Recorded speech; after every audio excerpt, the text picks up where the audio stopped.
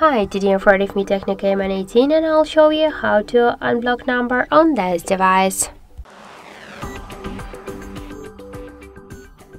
So first let's open the phone application and then tap on the right upper corner to settings icon.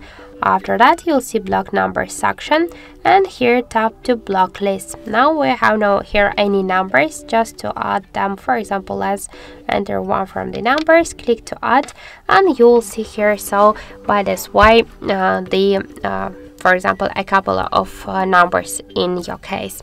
So just to remove this number from here you should click here to this trash icon trash bin icon and click to remove. Now we can see that this number unblocked successfully. And that's it. So thank you for watching and if you find this video helpful don't forget to leave a like comment and to subscribe our channel